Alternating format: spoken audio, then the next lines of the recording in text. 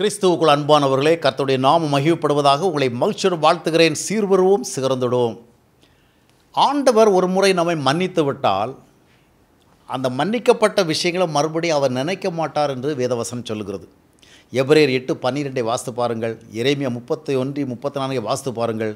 ஆண்டவர் மன்னிக்கிறது மட்டுமல்ல இனி அவருடைய பாவங்களை நினைக்கவும் மாட்டேன்னு சொல்கிறார் அதனால் ஒரு முறை ஆண்டவருடைய மன்னிப்பை நாம் பெற்றுக்கொண்ட பிறகு வாழ்க்கையில் ஏதாவது ஒரு பிரச்சனை கஷ்டம் நெருக்கடி தொடர்ந்த துன்பங்கள் இப்படி வருகிற பொழுது ஆண் நாம் கடந்த காலத்தில் செய்த பாவங்களையே நினைத்து அதனால் தான் இதை அனுபவிக்கிறோம்.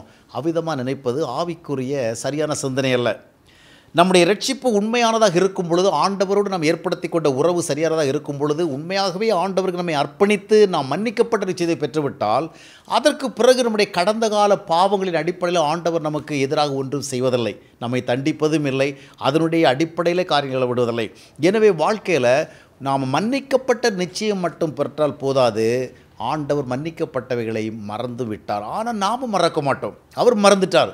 நாம் என்ன செய்கிறோம்? கால் கொஞ்சம் சோத்தில் இடிச்சிட்டாலும் ஆ இது அண்ணன் பழைய காலத்தில் செஞ்ச தவறு. நம்ம பிள்ளைகள் கொஞ்சம் கீழ்ப்படியாக போனால் நம்ம அம்மா அப்பாவுக்கு நம்ம கீழ்ப்படியாக அதனுடைய விளைவு இப்போ வருகிறது.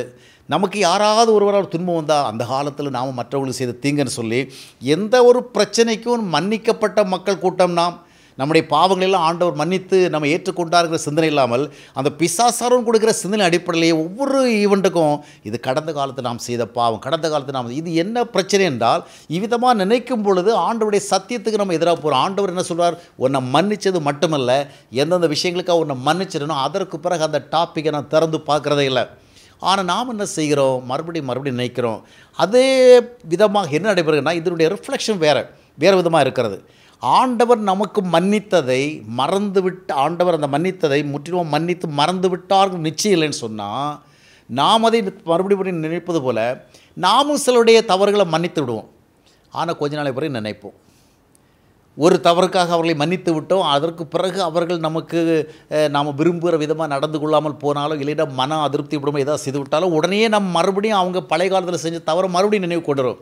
இது எங்கிருந்து வருகிறேன்னு சொன்னால் தேவன் நம்முடைய பாவங்களை மன்னித்தது மட்டுமல்ல மறந்து விட்டார் என்கிற அனுபவம் நம்முடைய வாழ்க்கை இல்லாத காரணத்தினால நாமும் பிறரை மன்னித்தாலும் கூட அது ஒரு டெம்பரரியான ஒன்றாக இருக்கிறதே ஒழிய நாளை தினம் ஏதாவது ஒரு விஷயம் அப்படி இப்படி வருகிற பொழுது மறுபடியும் அவர்கள் செய்ததை நாம் நினைக்க ஆரம்பித்து பேச ஆரம்பித்து விடுகிறோம். அப்போ என்ன நடக்க வேண்டுமென்றால் ஆண்டவர் மன்னித்ததை அதை முடித்து விட்டார் மறந்து விட்டார் அறிய வேண்டுமென்றால் தேவ அன்பில் பழகணும்.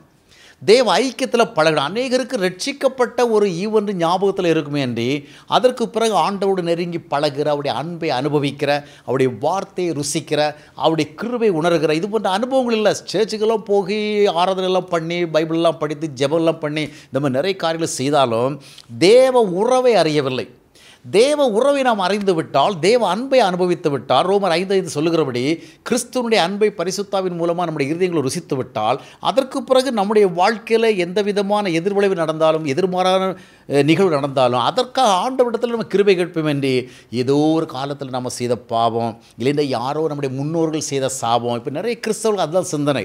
ஏதாவது ஒரு பிரச்சனை வந்துவிட்டால் இது ஏதோ ஒரு காலத்தில் எங்கள் முன்னோர்கள் செய்த சாபம் அவ்விதமாக வருகிறது. சொல்லுகிறது யாருன்னா ரட்சிக்கப்பட்டவங்க மனம் திரும்பினவங்க மறுபடியும் பிறந்தவங்க கர்த்தருடைய ஆவியை பெற்றேன்னு சொல்கிறார்கள் மன்னிக்கப்பட்டதையே ஆண்டவர் மறந்துட்டான்னா ஏதோ முன்னோர் செய்த பாவம் உங்கள் வாழ்க்கையில் எப்படி வரும்?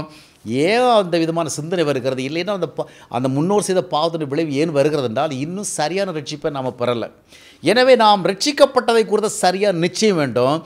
அது மட்டும் இல்லை ரட்சிக்கப்பட்டதை தொடர்ந்து தேவ உறவில் வளரணும். ஒன்று குறித்து ஒன்று ஒன்று என்ன சொல்லணும்னா நாம் கிறிஸ்துவனுடைய ஐக்கியத்தில் வாழ்றதுக்கு அழைக்கப்பட்டிருக்கிறோம்.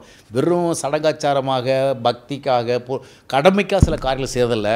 தேவ உறவில் வளர்க்கப்படும் தேவ அன்பை ருசிப்போம் தேவ ஐக்கியத்தை அனுபவிப்போம். அப்பொழுது ஆண்டவர் கடந்து போன காலங்களில் நடந்த காரியங்கள் அடிப்படையிலே தொடர்ந்து நம்மை தண்டிக்கவும் மாட்டார். அவர்களின் அடிப்படையில் நம்முடைய வாழ்க்கையில் இருந்து நிகழவில்லை என்கிறதான பூர்ணமான மன சிந்தனையோடு ஏதாவது ஒரு பிரச்சனை கஷ்டம்னா ஆண்டோட கிருபெதிரி வாழும் அவ்விதமாக நம்ம ஒவ்வொருவரும் வாழ ஆண்டவர் நமக்கு உதவி செய்ய வல்லவராக இருக்கிறார். அவரை சார்ந்து வாழுவோம். அவருடைய ஆசீர்வாதங்களை பெற்று வாழும் கர்த்தர் பெரிய காரியங்களை செய்வாராக. இரண்டாயிரத்தி இருபத்தி ஒன்றாம் ஆண்டிற்கான சாம்சன் பால் எழுதிய புதிய தினசரி தியான நூல்கள் தமிழிலும் ஆங்கிலத்திலும் ஒவ்வொரு நாளும் தெளிவான தேவ வழிகளை உங்களுக்கு காண்பிக்கும் வல்லமையான தியான நூல். மேலும் வாலிபர்களுக்காக சிறு பிள்ளைகளுக்காக விசேஷ தியான நூல்கள். உங்கள் பிரதிக்கு உடனே தொடர்பு கொள்ளுங்கள். நம்பர் நூத்தி இருபத்தி ஆறு முத்தையா முதலியார் திரு முத்தையால்பேட்டை பாண்டிச்சேரி. தற்பொழுது அமேசான் டாட் இனிலும் எங்களுடைய புத்தகத்தை நீங்கள் பெற்றுக்கொள்ளலாம்.